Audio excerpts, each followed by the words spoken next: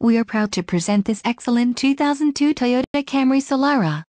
This Camry Solara has a 3.0 LV6 engine and an automatic transmission.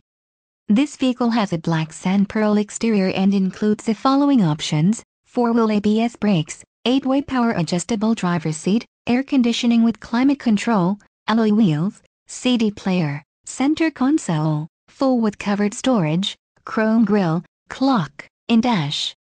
Contact our internet sales staff today to schedule an appointment.